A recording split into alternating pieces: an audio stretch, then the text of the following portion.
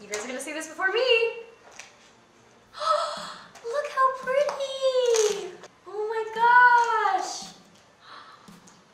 Look at her beautiful long hair and the bangs!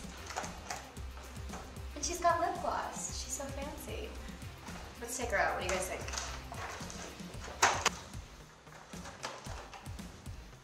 Royal Yacht Mal from the finale. She comes with her crown and her little bolero and her earrings. What else does she come with? She comes with fancy shoes and a little clutch. Her little dragon accessories. And this is when she's all scorched.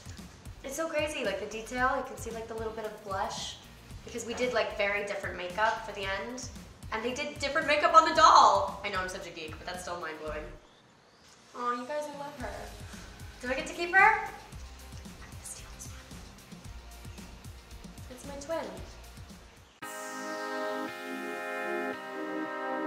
Let me tell you something you can really trust. Everybody's got a way.